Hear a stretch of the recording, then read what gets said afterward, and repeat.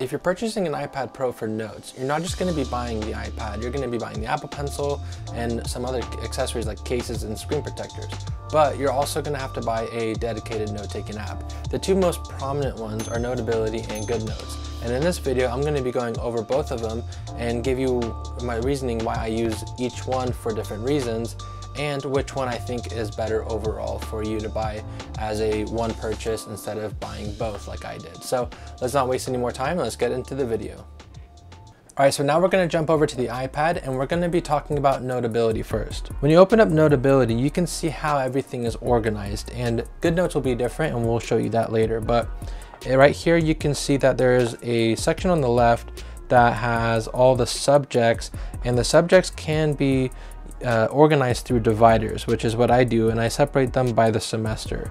And what happens is when you open up one of these notes, this is just a plain note that I have open, basically what you can do is go ahead and change the paper style to whatever you like. So usually either I use lined the graph paper or the dot paper, depending on the class and how many diagrams I'm, I'm drawing, basically. But when you want to take notes, you basically just go ahead and write, and then they have three different pens. So this is the ballpoint pen.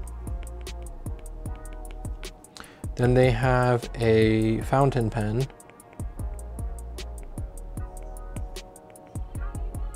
Which changes thickness as you're writing and depending on the pressure.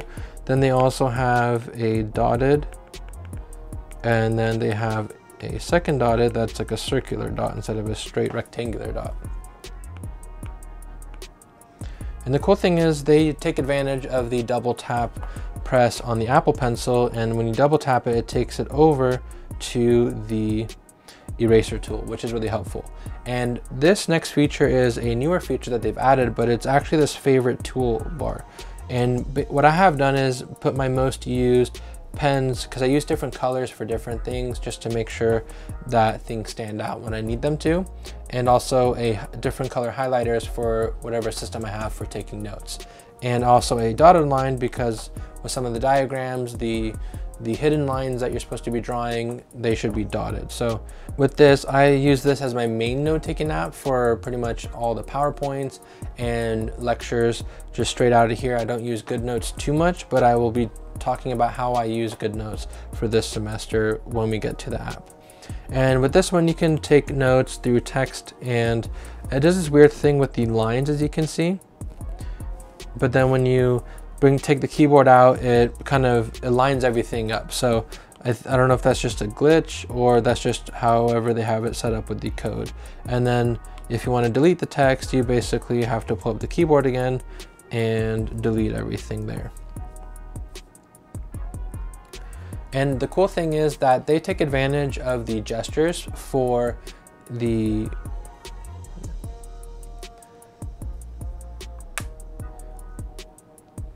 Something else is that they also take advantage of the three finger gesture. So you can do undo, redo, um, depending on how you swipe. And with the selection tool, you can also copy it, I believe.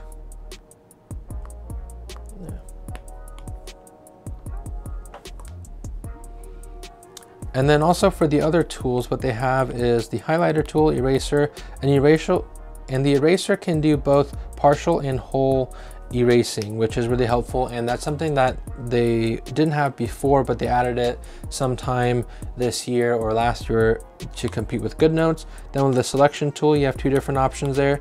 And then the finger one is just so that way you can scroll with your Apple Pencil.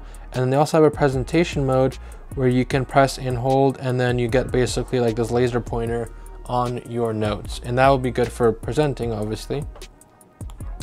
Something else is that they do have an audio recording feature, which does help out a lot of students who record their lectures. And the cool thing is that it tracks when you're um,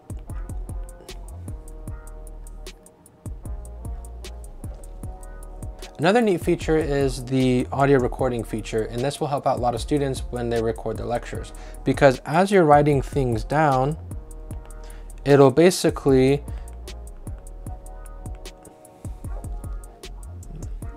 Another neat feature is the audio recording feature, and this will be really helpful during lectures. So when you open up the audio recording, it gives you this scroll bar. And with the scroll bar, it'll basically just track down whenever you're writing and you can play back the lectures. And when you go to the lectures and you hit the the wavelength thing to edit it, you can actually edit and split the audio so that way you can narrow down exactly when you were writing things down instead of having the entire lecture where there might be some dead space. And um, you can also do some voice boosting, equalizer, and then there's an animation preview. So they've given you a lot of control there what to use. But overall, I would say that this app is the more simple app out of the two. And I think that's why I like it for notes because a notebook is very simple. You just open it and write in it. And that's the same kind of feel I want to go for with this application. And kind of jumping into the settings really quick, they have different themes. So you can do different dark themes. They have two. One is kind of more of like a black dark and then one is a grayish bluish tint dark. But I usually like the light one just because paper is white, so I want to keep it kind of like that just for that lightness. I don't want it to be too dark. Unless it's at night, then I sometimes change the theme. And then basically with backup, you can back it up to Google Drive and that's what I have done. And it saves it pretty much every time you finish. It'll have a little downloading and syncing icon at the bottom so you can check it out. And then you have your different accounts that you can access and you also have iCloud syncing, which is really helpful because it'll back it up to iCloud and then you can pull it up on your iPhone and that helps me out a lot. Something else you can do is actually import some documents from files, Dropbox, Google Drive, OneDrive, Box, WebDAV, and also Document Scan, which is comes in handy a lot if you're going to be scanning documents, especially like paper copies. You don't have those as much anymore, but if you do, then you can have it like that. And also when you search from the main page, you can search the different document titles, but within the notes, you can search your handwritten notes. So that comes in handy a lot. And I think that's cool, but we'll kind of jump into GoodNotes. So when you open up GoodNotes, what you have is this kind of file management like system for organization. And I think I like this look better. I think it looks more organized, but what happens is you can have folders in here, you can have notebooks and the notebooks I think is what's what might drive some people to this app is when you open up the notebook, it'll literally be like a notebook and we'll kind of jump into the cover page. So the way I use this is for my lab manual. So I will be importing all my lab handouts and inputting it into this. So that way I have it for my thermal engineering lab and I'm gonna be adding a table of contents later. But basically you can come in here and you can kind of see my the lab handouts there. And then they have this page view, so you can view every single page right here. And Notability has this as well, but it's this little toolbar right here, as you can see. Overall, I do think that the GoodNotes one is better, and it also gives you options for every single page here. And you can add a page before and after, which they don't give you the option for that on Notability. And you can also bookmark pages from here, so you can have a favorite page. So when you go to favorites, you'll see that. But what you can also do is add an outline. And I think this, this is the only reason why I'm actually using this as my lab handout is so that I can have an outline for each experiment and that way I can organize it a little bit better for myself and find things a lot easier later on in the future or just later on in the semester when I've kind of filled it up a bit.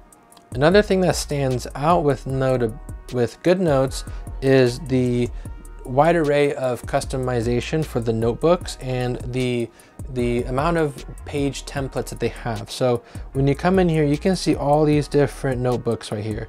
And they have some really cool designs. And I honestly would, like if I saw one of these as a printed notebook, I would probably buy it in the store.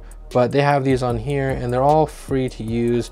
They're all included with the app because you're going to be paying, I think, $10 for each of these apps. But they have really cool artwork right here. You can also choose no cover and I believe you can import your own cover as well. I know you can actually import your page uh, your papers and you can create custom ones. So if you like a dark theme, they do have a dark theme so you can take notes and then write with white pen and other color pens. They have Cornell notes, they have a planner templates, they have two column templates, they have dotted, they have graph, they have music sheets, they have pretty much everything for these um, styles. So we'll kind of just do this, create the notebook, and then when you come in, it basically has it through a hor horizontal scrolling system and you just keep scrolling to add the pages. Now with writing, as you can see in the toolbar right here, you have everything right there and you have the shape tool. So it doesn't auto recognize shapes. You have to click on the shape tool. And this is the reason why I don't use it for notes is because I just needing to tap that just kind of slows me down a little bit too much for me to use. But as far as the pens go, you also have these favorite tools right here, kind of like how you did in Notability, but they only give you three color choices. And for the pen width, you can just tap and set three custom preset thicknesses so that way you can adjust it. And they give you more kind of more personalization options here, but I think I like the notability one just because I don't have to think about it or find the right number. I can just tap on the, the option that I know works best for me. What you can also see with GoodNotes is that there's three different tabs here and basically whenever you open up a new notebook, it's gonna open up a new tab. I personally really hate this tab thing because it just it just really annoys me because I hate having that extra space being taken up when I'm writing notes. But for some people, they really like that system and you can easily close it. But just stuff like that kind of irritates me a little bit too much to want to use it as my main note taking app. But right here, you can go to search and you can search the basically everything. And it recognizes both the YouTube titles and also written notes, which is really helpful. And I think this is this search tool works a lot better than Notability. You can also do shared documents where you have multiple people collaborating collaborating on it and that's a newer feature. And then they also have something that's really cool where in the settings you can turn it on and you can email to GoodNotes. So if you have like a document you can just email it to a specific GoodNotes email that's kind of generated for you. It'll automatically import it into here. I don't use that and i don't think i have a use for it so i haven't turned it on but i think that'll save a lot of time for a lot of people and that'll be a really cool tool there as far as other options for both of these apps go, with GoodNotes, you have this dual window support where you can create a whole nother window of it. In, in Notability, you can't do that, as you can see here, but what you can do is if you slide in from the left, you see all your other notes and then you can and you can slide it in and you have both the notes side by side. I personally don't like this tool because I think having the two separate entire windows, so it's kind of like two apps open at once, that works better because this one, I constantly have to tap on it just to go to the writing, but and sometimes I try to write on the other one, but I can't, and that slows me down a little bit. And I think having the two separate windows entirely is a better route to go for this option. Something to also consider is the writing for both of these.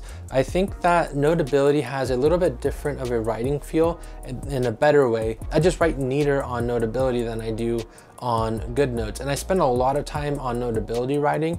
And I've also spent, you know, pretty much half a semester using GoodNotes. And I kind of use each one in the same day to try to figure out which one I like best. All right, so if I'm gonna recommend these apps, I think I would recommend the Notability app for people who want more simple notes and just like a simple application to just open and take notes. And also if you will find that auto shape recognition tool really helpful. Because for me, that saves me a lot of time and having to click on that auto shape button will kind of annoy me and slow me down a little bit during lecture. And especially when these professors are going really fast. Now for GoodNotes, I would suggest it if you're trying to use it as a planner or you want just like a separate notebook and you want that notebook kind of layout as a traditional notebook instead of having like a, this more modern way of taking notes. You can have a little bit more of a kind of a feel of a physical book, but on your iPad. And then what you can also do is import specific papers. So that way, if you have your own templates you want to use, you can import them. And you can hyperlink things too using like a PDF hyperlinking system and then import it into GoodNotes. And I've seen some people do that for their planners. All right, so let me know down in the comments below which app you use to take notes on your iPad every day. And if you enjoyed this video, please give it a like and subscribe to the channel as it does help me out a lot. And I will see you guys in the next one.